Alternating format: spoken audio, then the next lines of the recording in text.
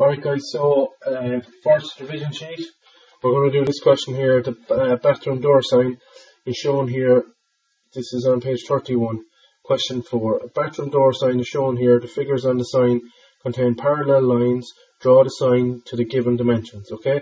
So we can see here, um, I'll be working off these dimensions, so you should have this open beside you when you're doing it. So we'll start anyway, as we normally do, trying to draw uh, some sort of a, a rectangle that it all fits into. So you can see the height is 210, the width is 280.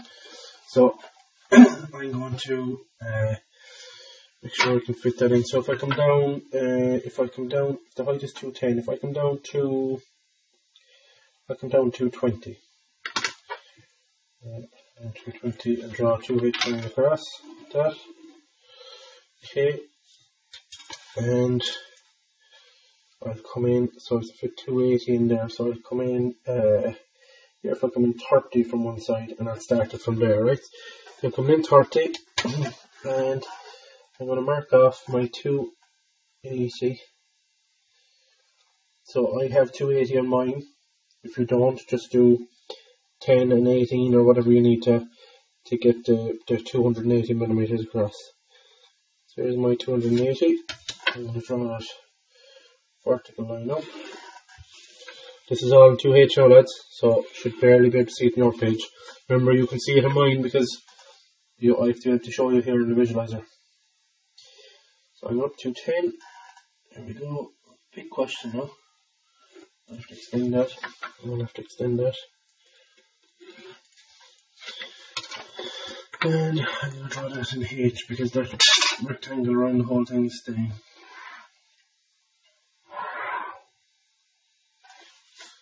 I'll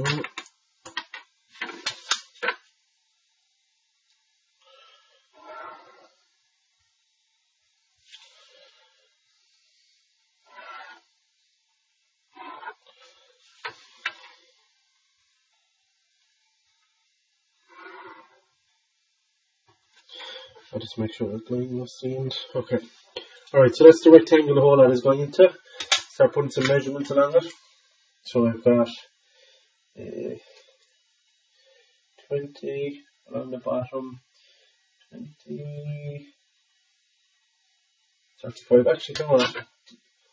I'll come up to 20 that they're telling me to. So I'll come up 20 along the left hand side and I'll put the measurements along that line because it all starts up over there. So I'm going to put the measurements on that. So on that line we've got uh, 20, 35. I'm adding together.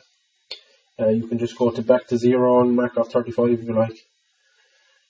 20, 35, 4 tens in a row, 10, 10, 10, 10, okay. Then I have 35, so I'll go back to 0. So I got 30, 35, one is 30, next one is 10, next one is 20,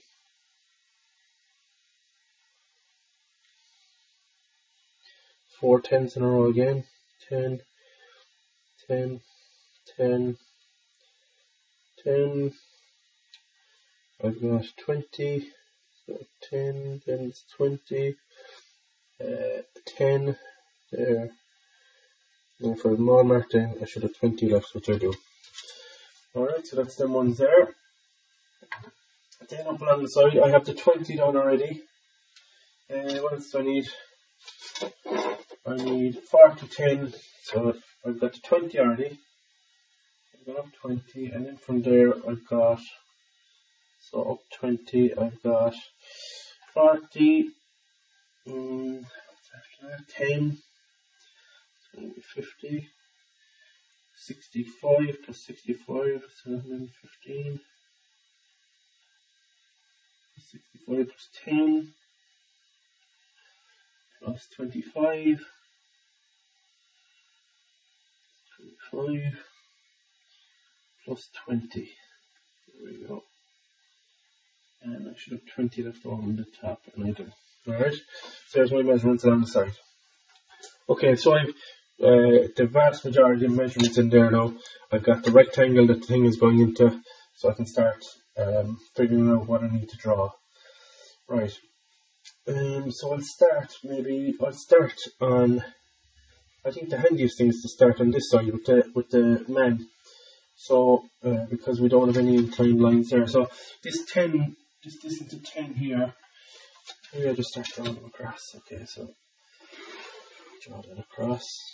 Right. So to draw that, take these lines across, uh, draw this from across. Uh, uh, so I've got 40, 10, 65, 10. Uh, I'll draw the 25. 25 there. 25, and then draw this. Okay, perfect. Right. Starting my lines going across, and I said I'm going to start over here. So I can see from here, this um, I've got the four tens, a distance of 20 and 10, and I can see that 10 there makes up the left hand side of the male part of the figure. And I've got four tens, 20 and 10, that makes up the right hand side of the male part of the figure. So there is kind of shoulders and side of his body. I'll that in there. Okay, and I'll put in the, the tens. So I need the first two only need to go up to the top of that line. Second two need to go all the way up to the top.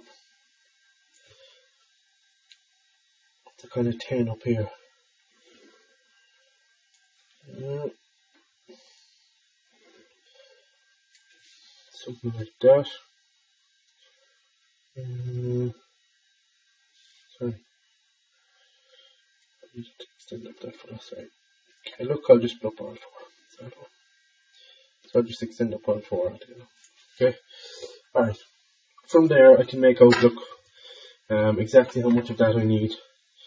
So, uh, if I draw in the shoulders first, I can see, look, goes in there. That's the far right hand side of the body.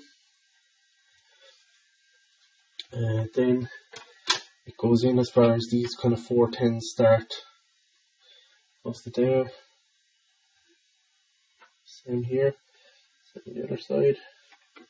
Goes in as far as four tens starting. And then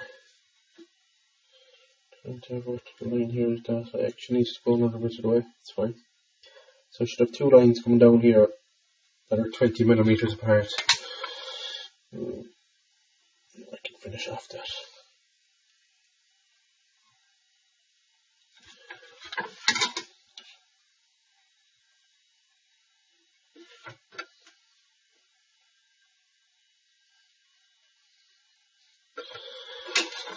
Okay.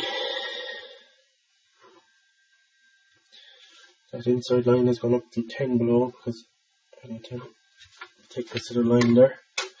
When that goes in, it should be 20 millimeters apart here in the middle.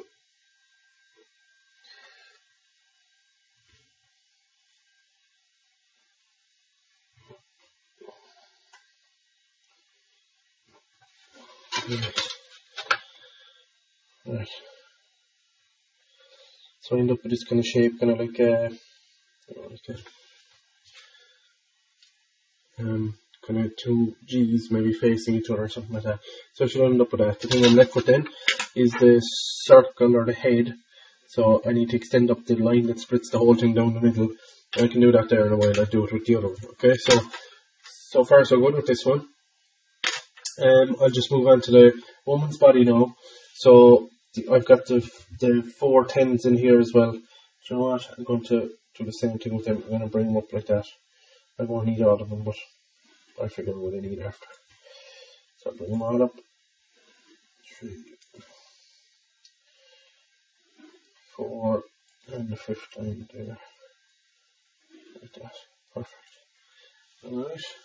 And then I'll extend these are 35 and 35 I'll extend up them up to the base there the base there, I don't know what I mean for there Okay. Right, and I needed the middle line to draw a circle, so I'll extend it up as well. Okay, so I should end up with something like that. Okay, I'll fit in what I need, so what I have so far. So I have these uh, kind of outside ones.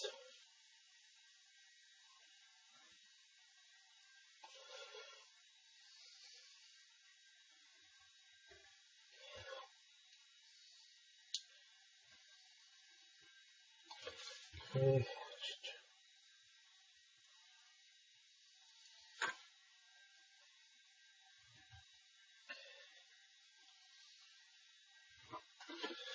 Alright. There, okay. Now, after that, what I'm left with is an angle here of 75 degrees. Okay, so I have the vertex of the angle, which is going to be these corners here. So I'm going to need a line going up at 75 degrees there like that. Now I have two options. One option is just using my protractor, putting it down, make sure the crosshairs are on the vertex, and one of the um, and the zero is on one of the arms of the angle I'm looking for, so I get 75 of that. The other option is, of course, uh, if we remember, you can combine your set squares. So I need an angle of 75 from there. I have 30 with this one, have 45 to it. So now I have 30 and 45, so now I have 75 degree angle. So I can just use my set square there like that. Make sure that there's, make sure he's sitting on top of the T-square. Make sure that 45 degree is took uh, is in contact all the way over there and extend up my line there like that outside like that I do the same from the other side so I need a 75 degree angle going that way so I need 30 plus 45 do the same going up here so there's my angle up that angle so there's my two 75 degree angles now um, I'm going to need uh, a line at distance of, of 10 away here. So I'm going to need a parallel line distance of 10 away. Now we know if we draw a parallel line 10 away, the distance of 10 has to be perpendicular away from the other line. So if I'm drawing two parallel lines, the distance of 10, or whatever the distance is, has to be perpendicular away. So to get it perpendicular away, I need to draw a perpendicular line. To do that, sit down my set square. I'll make sure that I've got the 90 degree angle ready to go. Make sure my sliding set squares are set up.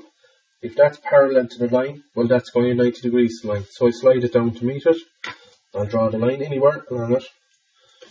And I mark off a distance of 10. Now that gives me a point that's perpendicular distance of 10 away and I mark that off. Need to see that guys, otherwise it's not done. Same here. I'll set up my line, make sure my 90 degree angle is ready to go. Set up my sliding set squares. If this is parallel to it, that's 90 degrees away.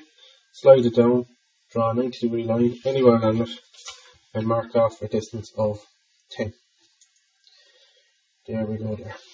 Okay, that's 10 away. Now, got that done.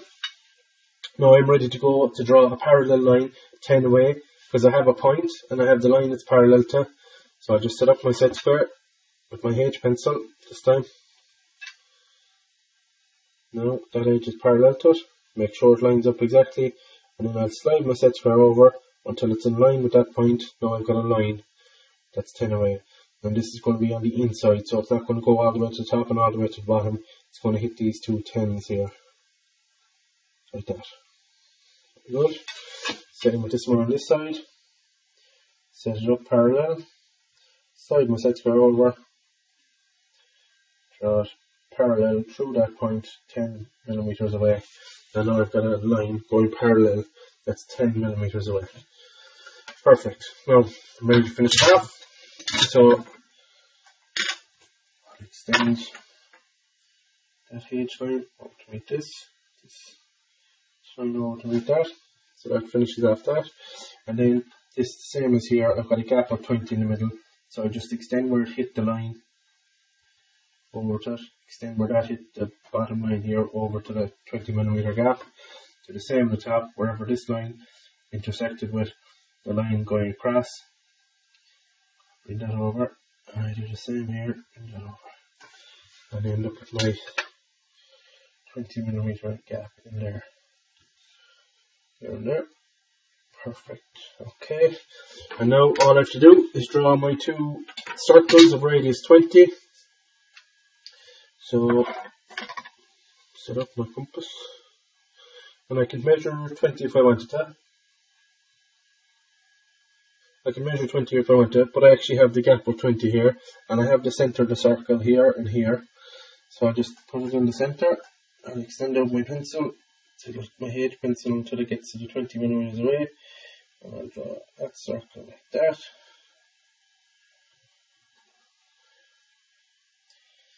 And draw that circle. Ah, stop. Right, disadvantage of Biro guys. Right, so uh, try and avoid that. Mm. Right, so you should end up with your your uh, objects there like that. Um, so you should be able to clearly see the uh, the H and 2H pencil. So I'm looking for for your marks. I'm looking for uh, working lines.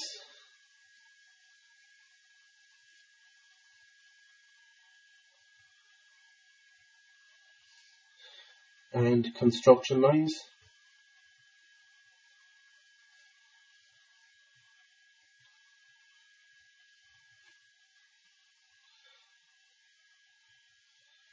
and then I'm looking for um, these lines marking perpendicular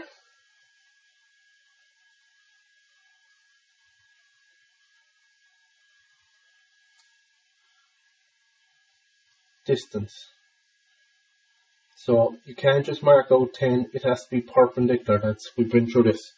Alright um, well as that? Uh, that's what you're looking for there. And then just to finish off guys, I want you to draw, so come up uh, from the bottom, I want you to come up, um, you know, I want you to come up 40 from the bottom, okay, up 40 from the bottom. And draw. Two edges on across like that, and I want you to come in 30 again. And then come in uh, come in 65 okay? So you're coming in 30 and 65 up 40 and 30 and 65 and I want you to draw a line like that like that so that's one line and then over on this side I want you to come in the distance up here along let's say this keywords line you should have a distance of about 75. So I want you to come up maybe 60, like that. Come up a distance of 60 and draw that in here, like that. And I want you to come in uh, 30 again from the edge of the margin, come in a distance of 30. I come in a distance of 30.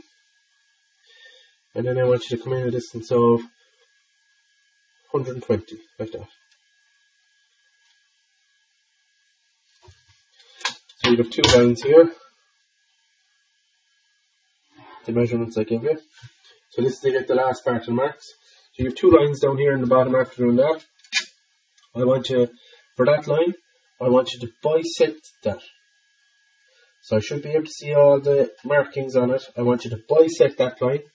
And this line, I want you to divide it into equal parts. And the parts I want you to divide into is 7. I want you to divide that line into 7 parts. So you've got a line there that's 65 long, and you've got a line there that's 120 long. This should be bisected. That should be divided into 7 equal parts. Okay? So complete that. Uh, uh, yeah, everything is there. Um, I think I've gone over all. So there's all the marks that you want to get for it and complete the two of them. So do everything I've done on this page, everything here, and I want you to complete, bisect and divide that into seven